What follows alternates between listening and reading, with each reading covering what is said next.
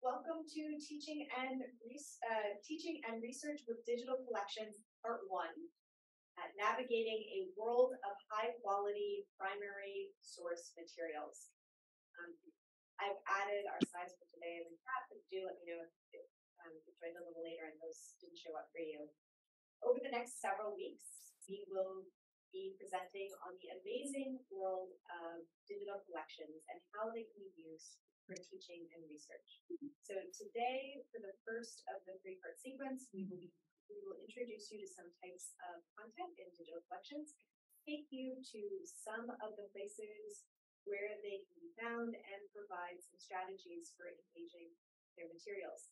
Um, and you'll probably also notice that um, wonderful, thank you for enabling closed captions. I was just about to say, you'll also notice that everything that we're saying is in our notes within the slides. So we do try to keep to that script as much as possible, just because both Chris and I feel really strongly about accessibility. And so we're hoping that um, helps with that. So please take advantage.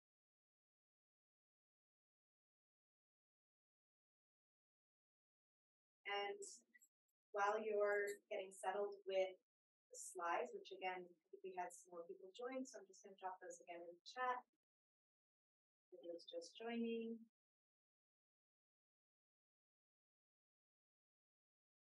Um, and let me introduce myself. Uh, I'm Dr. Francesca Albrezzi. I'm a digital research consultant for the Office of Advanced Research Computing, and I work closely with IDRE, the uh, Institute for Digital Research and Education. So I also lecture in the Digital Humanities program and in the World's Arts and Cultures slash dance department on occasion. I have a background in art history. I've worked with and in museums for uh, well over a decade, uh, including the GRI, the Smithsonian, and the Los Angeles County Museum of Art. Uh, and my dissertation looked at immersive technologies in museums and cultural heritage. So I've been doing a lot of thinking about uh, forms of publication, display, and information cap- capture and transmission. Um, if you ever have any questions or are interested in learning particular skill in VR or extended reality, XR, uh, please let me know as we're trying to build out our resources in that area, and I'm going to make sure that it uh, fit with what the UC campus community uh, needs for their research. Um, and with that, I will pass it over to Chris. Hi, everyone. Um, I'm Chris Gilman. Uh, I'm Digital Curriculum Program Coordinator with the UCLA um, Library Digital Library Program. Uh, my background of, of, all things is in Slavic languages and literatures, um, which really only makes sense if you consider the Russian avant-garde, an early century, 20th century aesthetic experimentation in cinema, um, uh, architecture, theater design, brain science, psychotechnics, and other kinds of things that popped up uh, in the wake of the revolution. Um, uh, for my day job, I support the integration of digital collections, tools, and practices in the UCLA curriculum, and have been working um, uh, especially um, in the context uh, of um, teaching and learning uh, with innovation uh, in the um, uh, new Brew and Learn medium.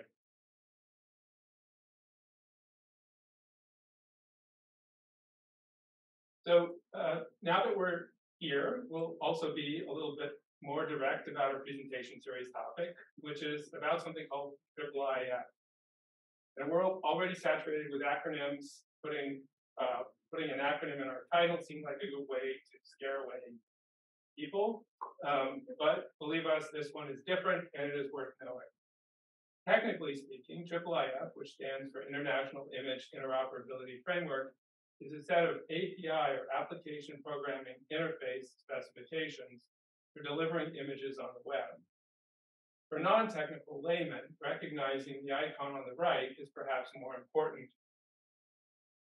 It indicates that the item or collection it marks can be used outside of the source website and in combination with other items and collections similarly marked. Basically, when GLAM institutions, that is the acronym, galleries, libraries, archives, and museums, first started to digitize their collections, they use many different platforms, formats, and metadata types. They put low resolution reference images online and place safeguards against reuse on the web. Um, high resolution archival images were jealously guarded offline. As a researcher or educator, you or your students would have to view items separately on their various sites. And if you wanted to work with top quality facsimiles, facsimiles, you would have to request and sometimes pay for permission to download files. Assembling a collection or database on your own, uh, for your own research and or teaching was really difficult. So in, uh, uh, 2011, a consortium of seven international institutions came together to form a standardized method of describing and delivering images over the web, as well as related metadata about structured sequences of images. The resulting agreements and technical innovations fundamentally changed how scholars, educators, students, and the general public can engage with digital collections. By creating uniform standards for high quality research grade imagery online, IIIF compliant institutions support rigorous inquiry with reliably linked resources that was previously only possible with image files. This pool of content is still dwarfed by comparison with what you can find with Google Images or Wikimedia Commons, but it is worlds better and rapidly growing by the day. With hundreds of adopters from around the world, there are now more than a billion IIIF digital objects out there. The digital collections we'll highlight today are all offered in IIIF. So to illustrate with a standard research use case. Um, you'll see here, this is from the Getty Research Portal, um, which is a valuable resource aggregator, and many people use it as a place to start their digital research um, or their digital collection research, since it brings so many institutional resources together in one place. Um, so for this example, say you find this particular item from the GRI special collection system. Um, and in this case, they're using a different viewer called Rosetta um, that isn't one of the IIIF viewers. It works great, but it would have, um, if you're if you're using it right, you would have to download the files to use them yourself. And then if, for example, I wanted to share them and I wanted to upload them to a platform um, or to a personal image server to bring them into a viewer like Mirador, which is such a IIIF viewer, and we're going to talk a little bit more about that in detail later.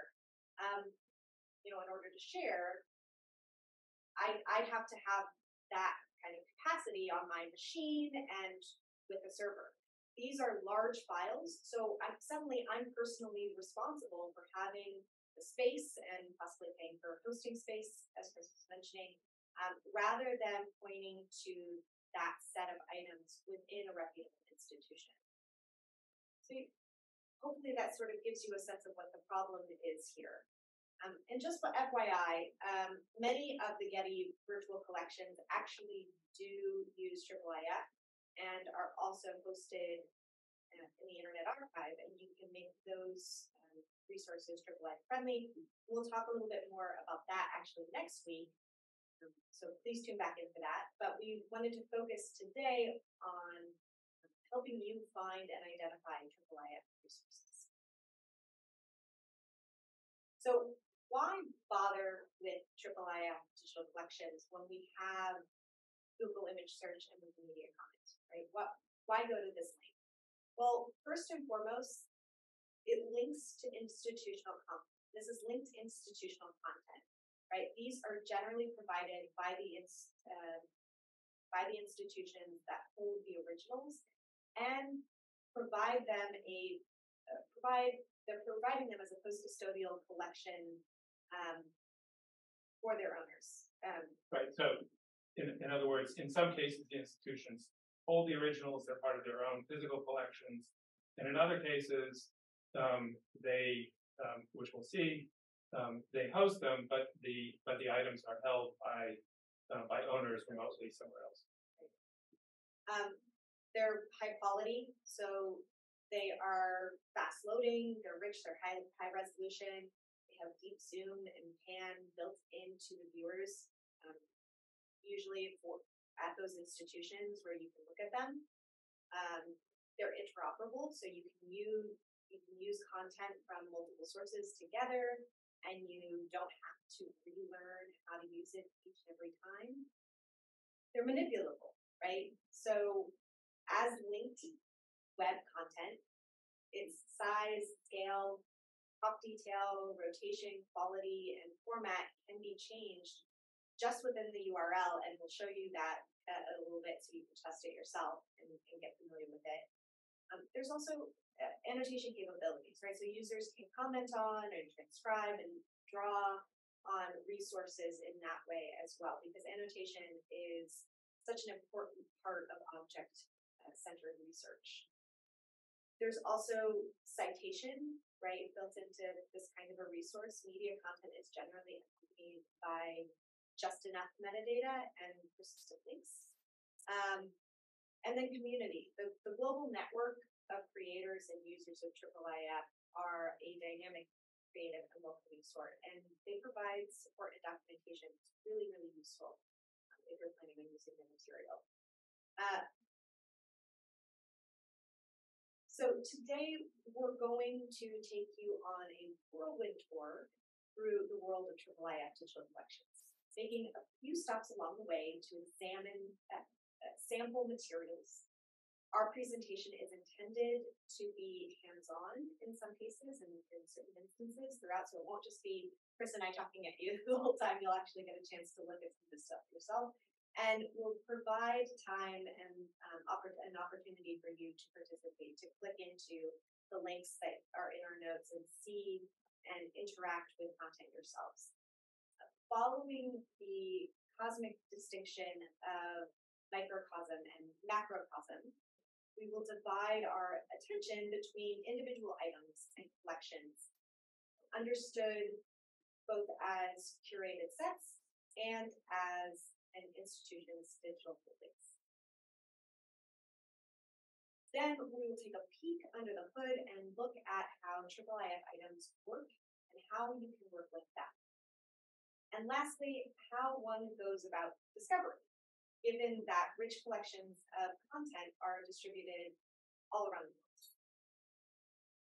So onto items, and let me pass it over to Chris. So first, we wanted to give you a general sense of the kinds of content that might comprise a digital collection. IIIF is expanding beyond image-based content to include sound, moving image, uh, and even hopefully 3D or immersive formats.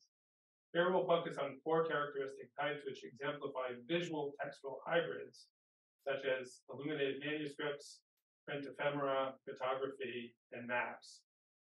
These kinds of resources range from the priceless to the mundane, from published to archival.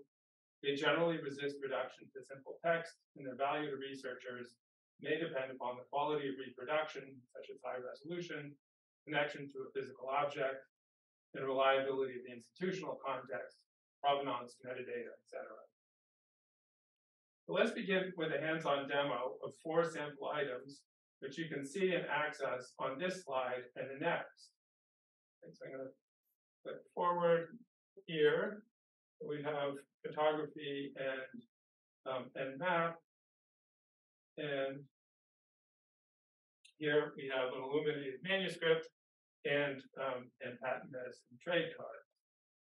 Um, so choose an item or two of interest and click into the link for the item page. Um, you should see it directly there on the slide, or uh, or if you can see the notes. Um, use the embedded item viewer on the on the item page to zoom and pan around the images. Um, a single item might be comprised of a single image or two or more to show front and back or even alternative views such as the folding trade card on the, on the right here. Um, books are presented as series of images, um, and that would be the case in the um, uh, in the uh, illuminated manuscript, um, and then in the atlas on the on the right here.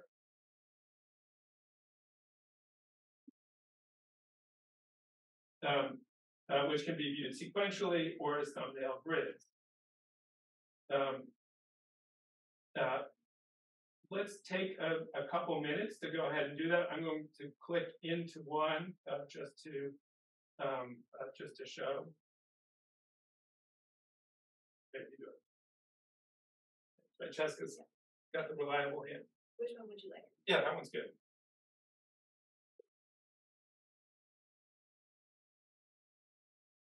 So here, for example, we have this um, uh, priceless item in our physical collections and um, and uh, high resolution view of it in our digital collections. I'm going to scroll to uh, one of my favorite favorite uh, page um, folds and just zoom in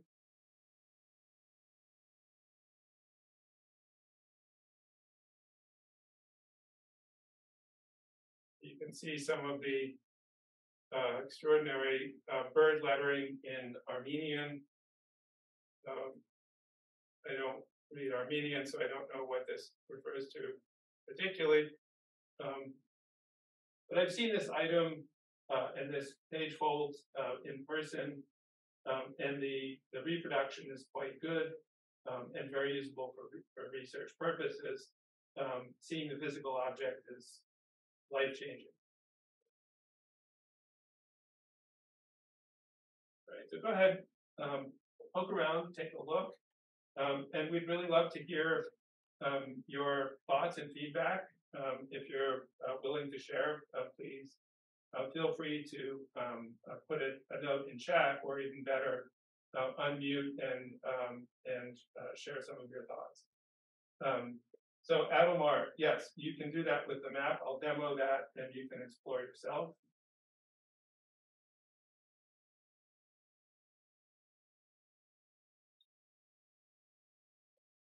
I was also about to ask about the map.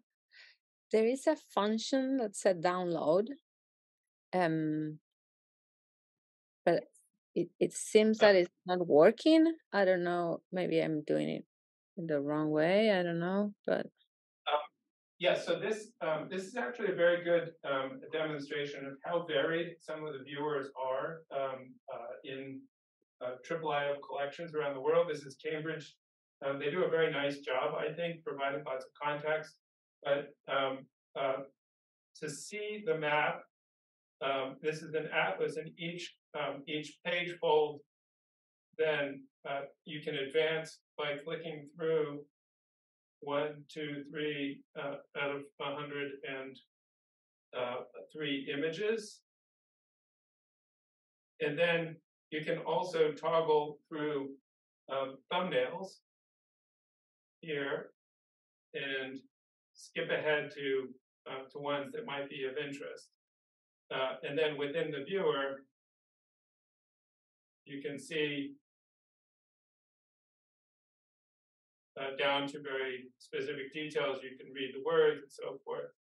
The UCLA Clark Library owns um, uh, a, a, copy of this um, that is a, a yet another uh, version of this same uh, same atlas.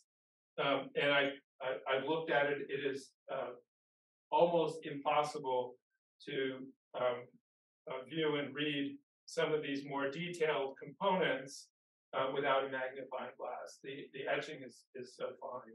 So in this sense, the IIIF um, uh, um, delivery of of this of this content is extraordinarily valuable, in my opinion, for um, for research. And you can sit right here and access it right away without having to um, fly over to uh, Cambridge. I think in terms of download, it should be down at the bottom on that um, left-hand side of the right-hand panel. Um, and Jimena, if you're running into some technical issues, um, we're, we're happy to troubleshoot that. I'm not sure why that might happen, but it should allow for you to download an image that way.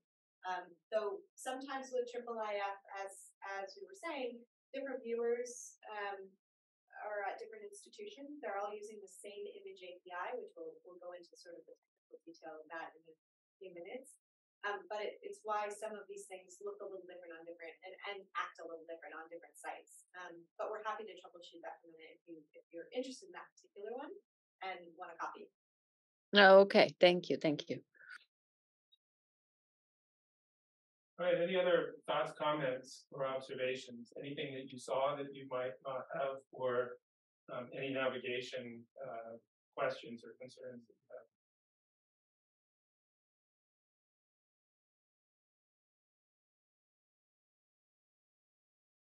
Um, just uh, would you open this same map in Mirador so others can see how it looks? Of course. Um, okay, so Adalmar was asking down here along the bottom, there are a number of different options for how to view it. Um, when you open it in Mirador here, um, it is uh, it is loading the Mirador viewer here, so you can see it uh, as in its frame. Uh, the item uh, is deep, uh, deep zoomable, as you can see. The same image set that we saw as thumbnails in the in the um, custom viewer um, are available here. Um, and then there are a number of different possible settings. So you can view it, let's say, as a gallery, um, or as a book. In this case, it's already a book, but you would see images side by side. Um, and then uh, metadata you can open or close, um, as well as uh, add annotations uh, to the item. So we're going to get into this uh, in a second with the Mirador viewer itself, but this is sort of the the exciting hands-on uh, kind of tool for um, for studying and analyzing uh, multiple items simultaneously um, in comparison.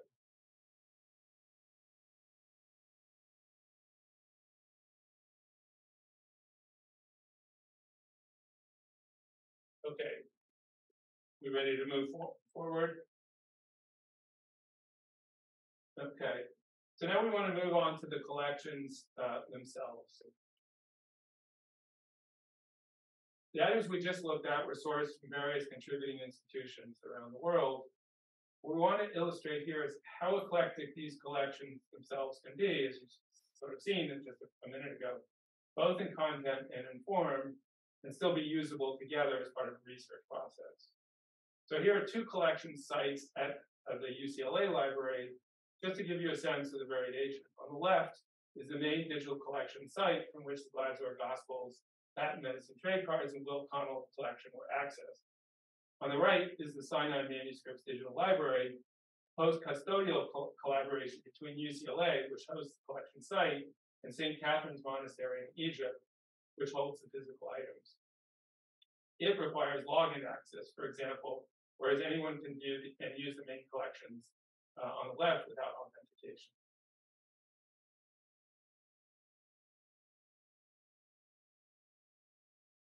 Um, here are three digital collection sites out there in the world. Um, on the um, on the left, the digital Bodleian homepage displays um, hundreds of uh, thumbnails of collections, um, and uh, I'm going to uh, click into it.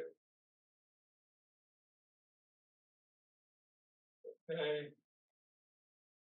Thank you.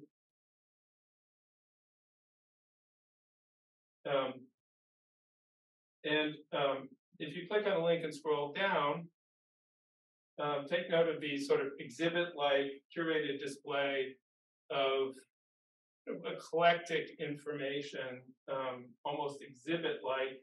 Um, um, and several sections down, you'll see a, a featured collection, the Armenian manuscripts, um, down here. Um, uh, which suggests a meaningful complement to UCLA's Glasgow Gospels and the um, Caro Minasian collection um, in, in, in, which it's held. Um, so as, uh, as a kind of a research process, knowing what, what is out there and, um, and how different collections might speak to each other uh, across, um, across oceans and continents, uh, sort of the heart and the soul of what we're doing with Triple Okay, so now if we click in the middle, um, the Will Connell Museum uh, uh, exhibit.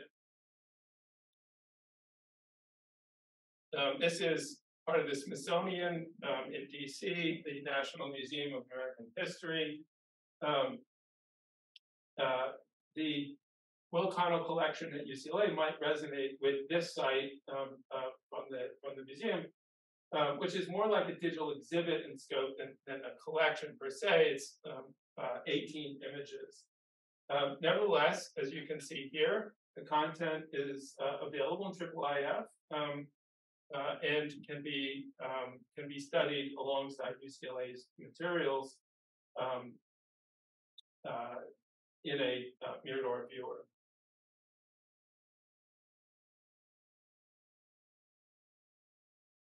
Okay, and then on the right, the Cambridge Digital Library um, is the source for Ogilby's um, Atlas Britannia.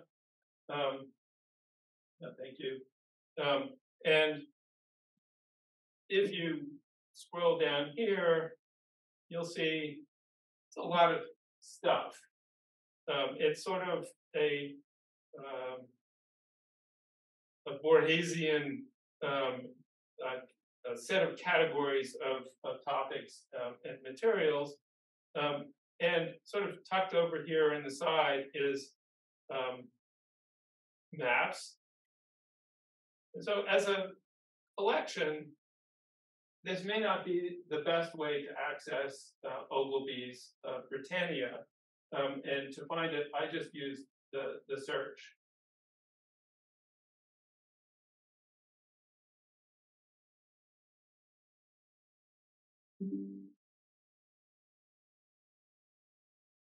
So as you can see, the, the variation in scope, organization, and even user experience in these sample sites suggest the mixed methods as visual and verbal process for finding, contextualizing, using IIIF digital collection resources, uh, which we'll pick up in the last portion of the workshop.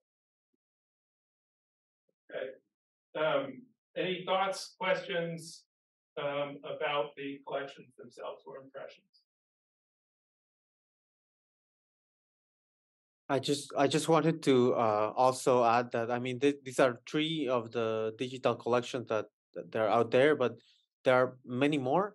Uh, and just uh, also to add that in Latin America, there's only one in Colombia, I think, and there's well, I guess one and a half.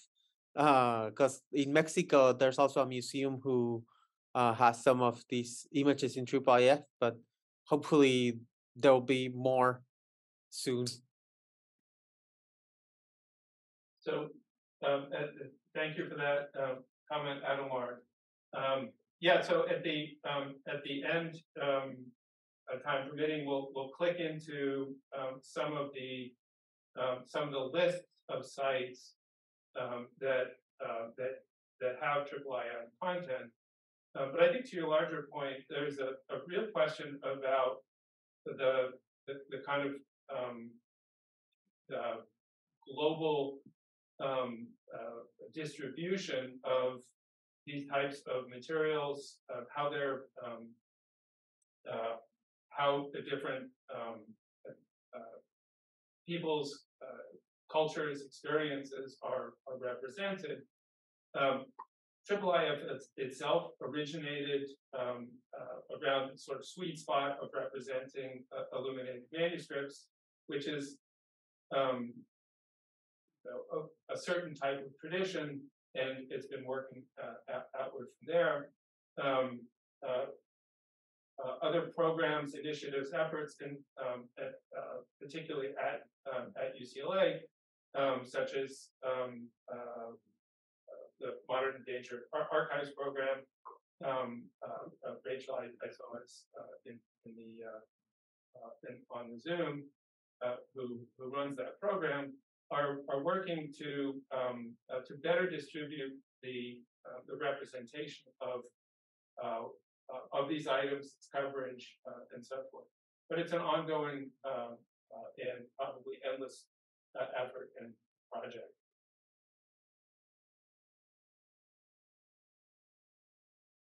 So now we're going to talk a little bit about working with IIIF objects.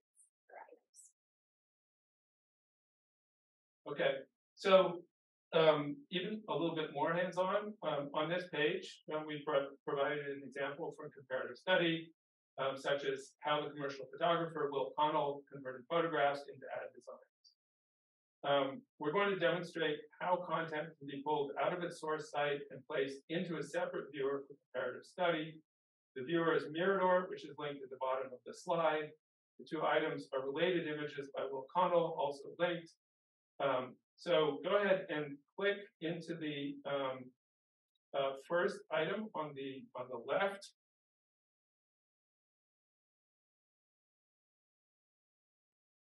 Okay, and you should see uh, the item in page and context. It has a lot of um, uh, metadata, and then down here is the manifest URL. Um, and don't panic if you click on it and you end up with a whole bunch of Code, it's JSON. complicated code. Um, Structured, structured data. right? Um, but we're going to um, use one part of that, and that is the the URL. How do I copy? Okay. Right, so now we're going to um,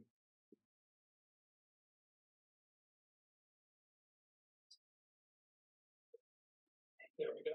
All right, and we're gonna go um, down here to the link the Mirador viewer. So this is UCLA's instance of Mirador. It's a technology that was developed mostly by um, Stanford and Harvard, um, and it's free and open source. We are hosting it here, and we're going to add a resource. So if you click in the bottom right-hand corner and paste in the resource location, Thank you. And click add, and you should see it appearing up at the top here. I'm going to go ahead and click on it, and it will load in the Mirador viewer. Right, and now I'm going to go get my second item.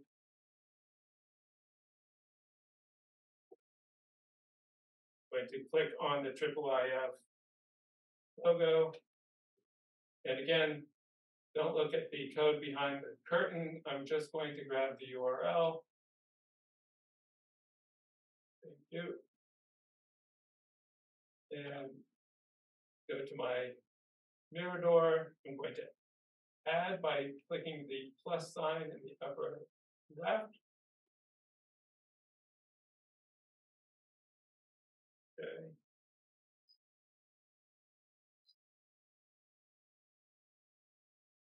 And I should see the second item.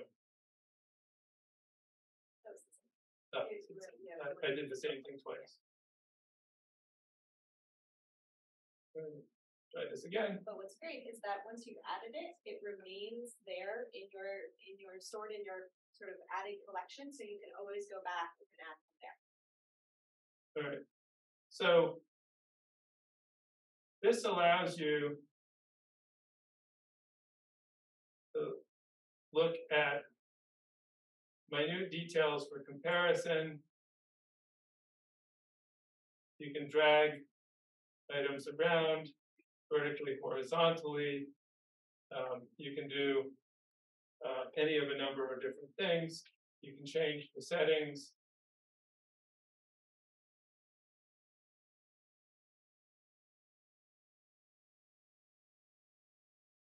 for example, to slide them around.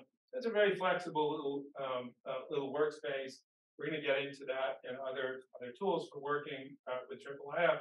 But the general principle here is to understand that items that come from two places in the same collection or um, uh, or in um, from two different collections uh, can be studied um, rigorously um, through visual analysis in a, in a viewer such as this.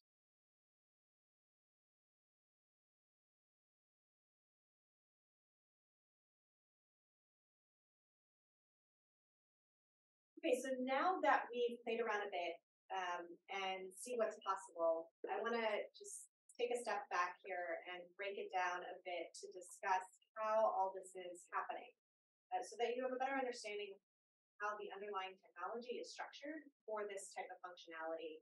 Um, so IIIF Image API lets you use image data the way that you want to. and we're going to show what we really mean by this. So first, um, in case you weren't aware, we mentioned this before, but I'm just going to say it again. API stands for Application Programming Interface, and as the IIIF documentation states, quote, this API was conceived to facilitate uh, systematic reuse of image resources in digital uh, image repositories maintained by cultural heritage organizations. It could be adopted by any image repository or service and can be used to retrieve static images in response to a properly constructed URL. Um, that construction looks like a link and it allows you to specify the region, size, rotation, quality characteristics, and format of the requested image. So you do all of that by what you write in, in the URL, um, essentially. So when we're working with IIIF resources, we're working with linked media. That's the really important thing to note here. Um, and that linked media is being hosted by reputable institutions that um, then we can manipulate their collections for our, our own purposes using their triple IIIF API. So let's try something out um, help us better understand what this means. So for me, seeing is believing, so we're going to actually do this ourselves. Um, I'm going to place a link in the chat as a um, where you can actually access it in your notes, whichever you prefer. Or I should do a slide notes, so let me go ahead and drop that into the chat for everybody. Um, and this is a resource developed by Jack Reed, which uses the image API to allow for us to manipulate an image on the fly. So we're going to go ahead and open this up. And um, what I'm going to ask you to do here is to, if you see on my next slide, right, I actually have here what, what we want to do together. So we want to change the size to 10. We want to try rotating the object 90 degrees, and then we want to try switching the region to full um, rather than these coordinates. So what does all that mean? Well, let's let's actually take a look here. So this is the structure right above, right? It's the structure that we of a of a URL. And so we see the HTTPS, right? And then we have the server that it's calling, calling the image from. Um, we have a prefix and we have um, some other information here. But then we have region, size, rotation, quality, and format. And so we can adjust um, any of these to be able to adjust what, what kind of image we get served.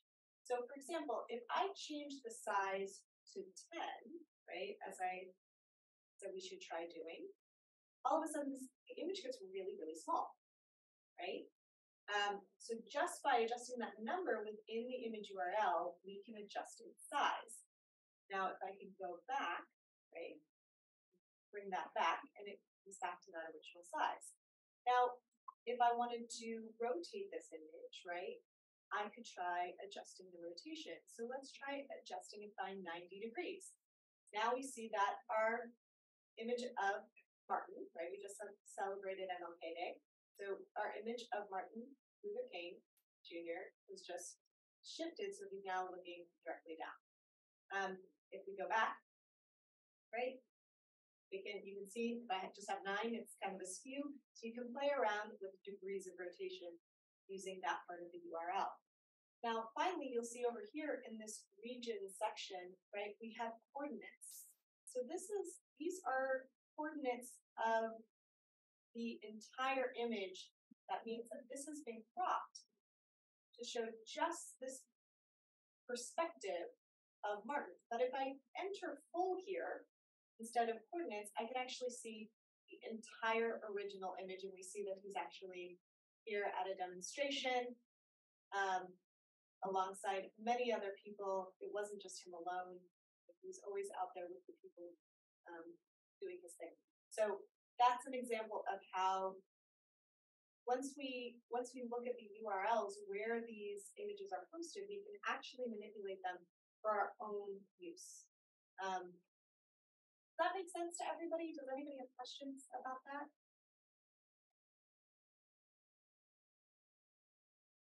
So by changing the, the request parameters, um, that we are, we're, we're essentially making of the image server where the image is being hosted, we can have a different image be returned to us. Um, the image itself isn't changing at all. The only thing uh, we are changing is how it appears on the web to us.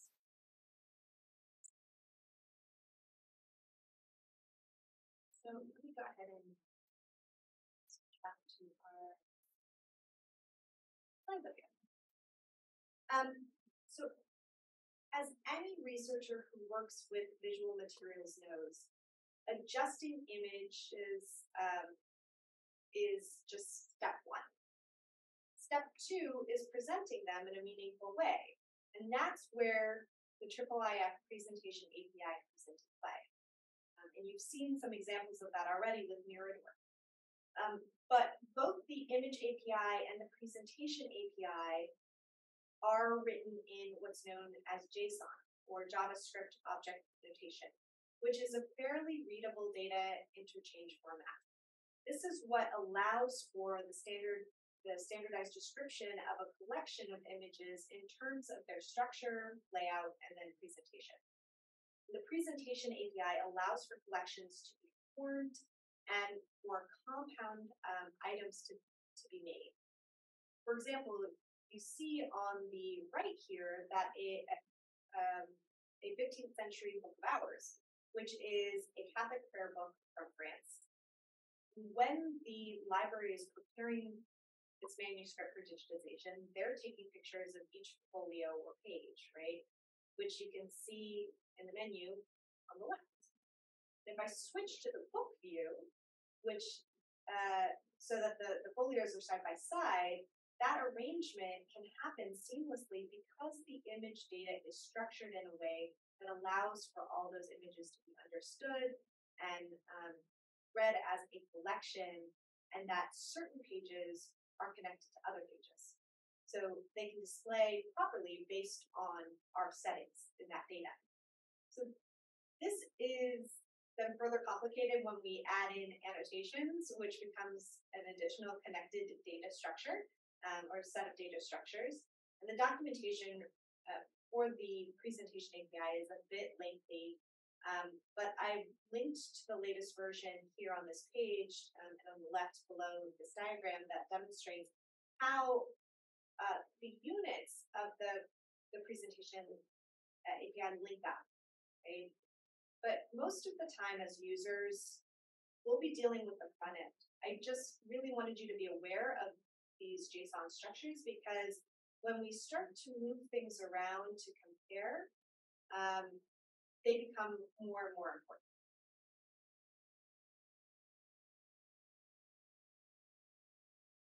And so here are um, two IIIF viewers that I want to make you aware of when we mentioned, I think both of these already.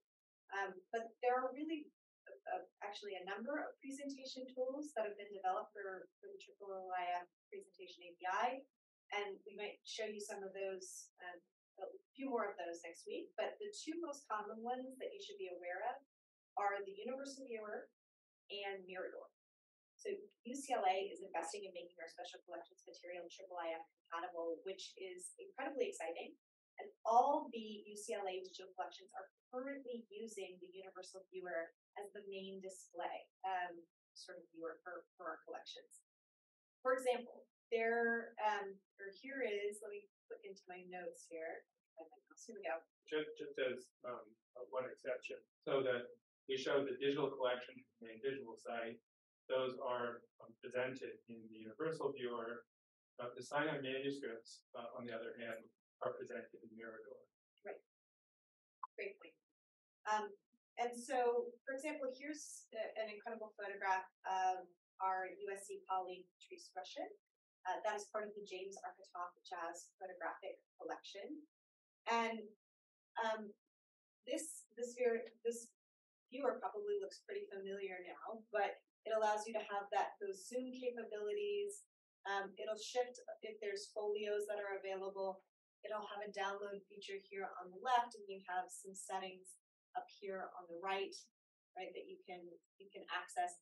But this is a, a very sort of standard view of the universal viewer um, in the UCLA collections. This does sort of look different depending on what institution is hosting the universal viewer, but it will look roughly similar to this no matter uh, no matter what. And the universal viewer also can handle 3D content, which is really exciting as well. Um, and that's being expanded as um, in addition. So more on that again in upcoming workshops.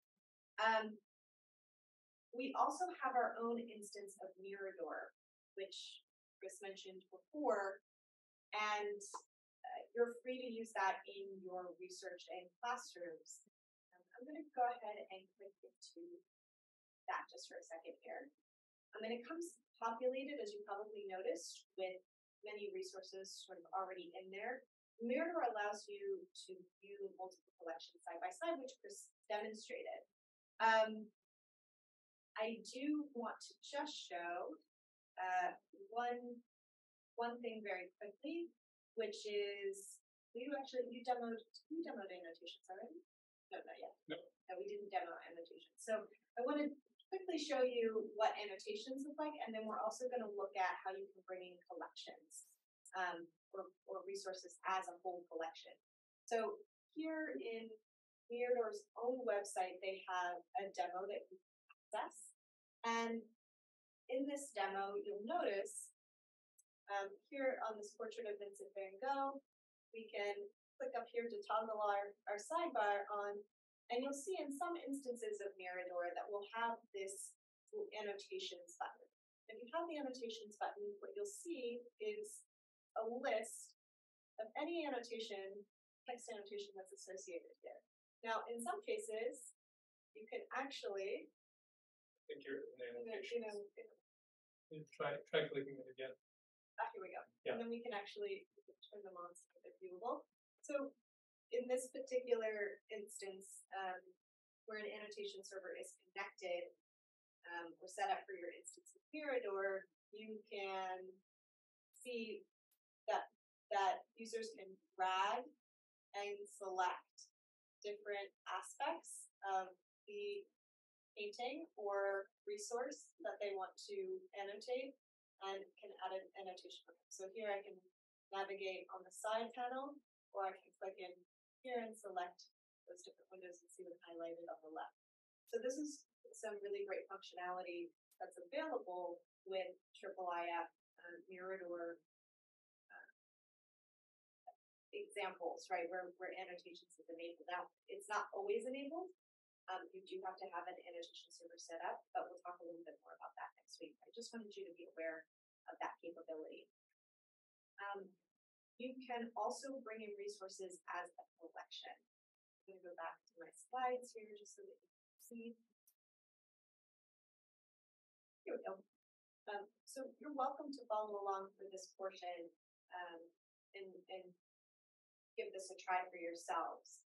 Um, but I just want to briefly demonstrate how you can bring in a whole collection at once. Um, so this, I'm gonna click into this. This is the Cashin collection, which is just the coolest in my opinion.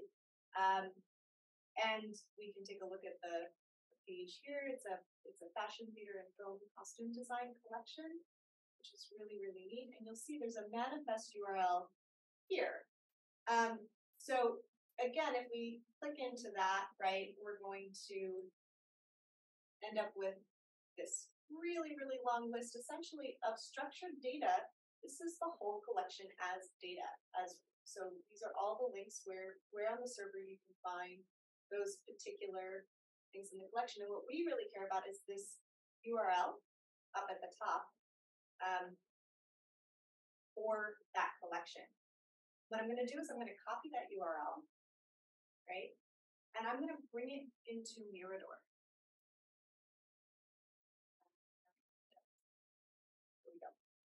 So I'm gonna go down here and I'm gonna add resource.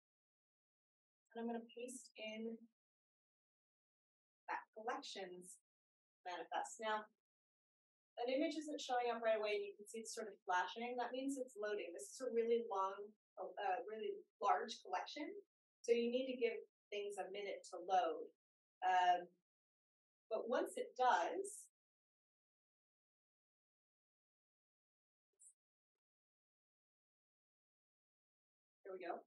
Once it does, here we go. It gives me a list of all the things in that collection, and I can pick from that list and bring in one particular item. And then say I wanted to bring another item in and do a side by side comparison, like uh, Chris was showing earlier. Well, I can just click in again to the collection as opposed to the single item, right? It pulled out that single item that I had already selected, but now I can go back into the collection. And again, it takes a minute to load. But you can see now it's moved this individual image to the left and it's given me the opportunity to choose again another piece here on the right. And so I can do side by side comparisons um, very, very easily using um, this uh, manifest URL, which allows me to bring in the entire collection at one time. Yeah, one more just so we can see.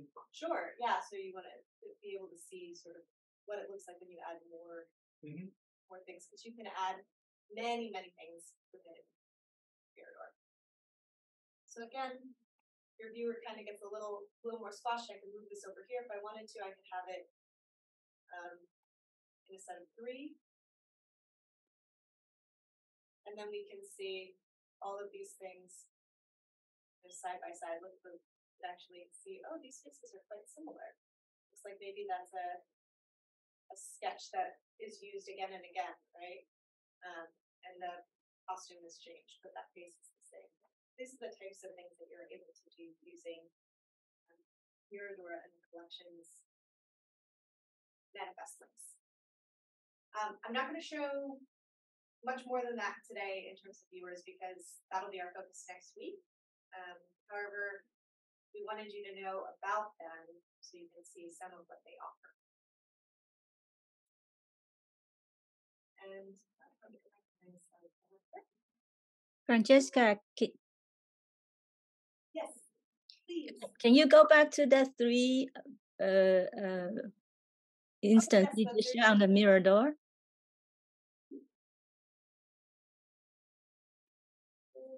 Are you able to do annotations here in the uh, UCLA Mirador now?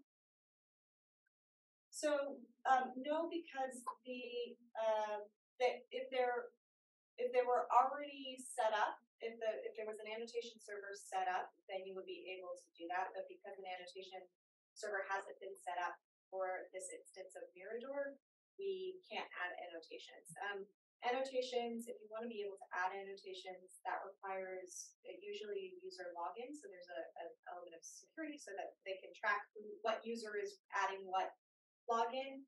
Um, and then also it needs storage to be able to store those annotations. It's something that we're working on. Um, Chris and I have been actively talking about it for a, a little while now. We may have a hack soon um, so that you can do it independently uh, using Omeka, but for for now, um, you can at least get things side by side and do that. So tha- thank you, Chenling, for that, for that question. Um, yes, we're, um, uh, actively seeking, uh, ways to make annotation possible and to figure out contexts in which annotations would be viewable and shared among different, different readers. So what Francesca particularly, um, uh, is working on is individual, um, uh, research annotations under the auspices of OARC, um, and then the broader picture is how do we establish annotation as a um, core proficiency for all students uh, at UCLA so that annotations could be shared within um, course context. That's a great question. Um, so most importantly here to note is that uh, how with IIIF, a paradigm shift is happening in terms of methodology. We're moving away from having to access content through portals to having portable uh, digital objects that you can work with yourselves in different environments. Um, so I will pass it back to Chris. Okay, so now we've it on triple IF, both a la carte, by item, and gigs, by collections. Now comes the check, the downer side. It's frankly difficult to find what you're looking for in the triple IF world. The triple IF community is working really hard on discoverability, but it's a work in progress. In the interim, and more importantly, as a matter of information literacy, we suggest fundamentally inverting the widespread conception of research as search, something Google accelerated but did not invent. User experience web navigational terms like explore and browse suggest leisure activities when serious searchers want to get directly to what they need. But physical archival researchers often don't know what they need until they get past the finding aid and into the actual holdings themselves. Similarly, with digital collection, taking the time and energy to survey the lot using simple settings changes such as gallery view instead of list and increasing the number of items loaded on a page will lend rigor to the practice of visual inspection. This principle and advice holds at the level of institutional collections and even more broadly to the domain of IIIF content providing institutions.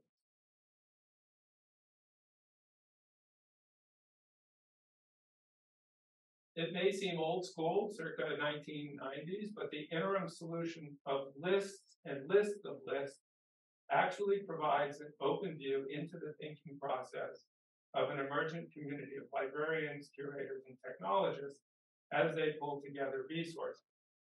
So Adalmar suggested um, uh, earlier in the, in the presentation, uh, here is just one IIIF website guide for starters, but there are many others out there.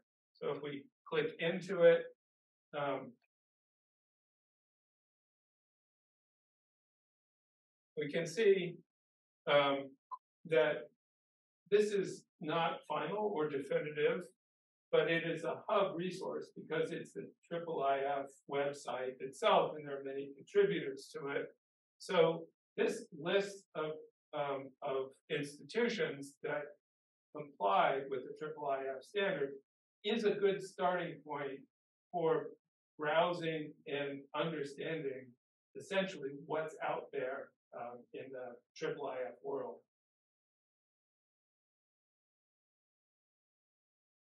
Uh, for example, um, list of lists, right? Uh, Benjamin Albritton from Stanford has assembled this great list uh, to get you started as well. And I'm also sharing his three-part IIIF tutorial in our notes if you're interested in looking at that and exploring more kind of IIIF content and the community that's out there.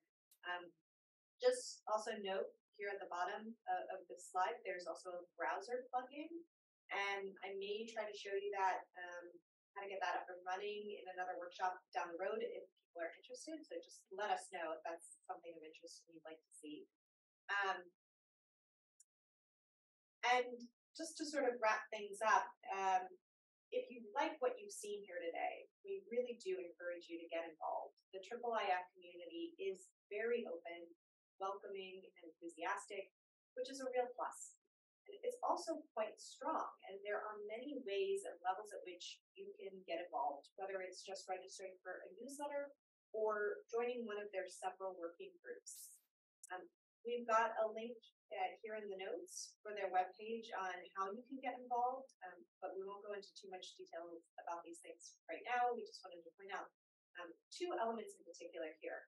Uh, one is the uh, the IIIF consortium list, and that's the the um, set of institutions that Chris was just referencing that are actively involved in setting the standards for IIIF.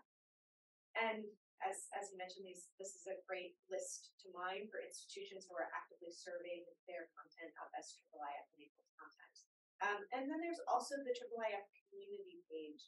And there is, um, on that page, a set up calendar events for all different kinds of various working groups that are meeting, and you can feel free to jump in on any of those um, calls at any time if you're interested. So for example, there's one on museums, there's one on 3D content, there's one for discovery, uh, there's one for maps, and so on and so forth. They really have uh, many, many different working groups, and they are very friendly, so feel free to jump in on any of those calls at any time. Um, and with that, think that's that's it for today. Um, we love any questions that you have for us. I hope that this uh, gives you a few ideas on how you might start using IIIF APIs uh, and how you might start exploring IIIF based selections for your own research.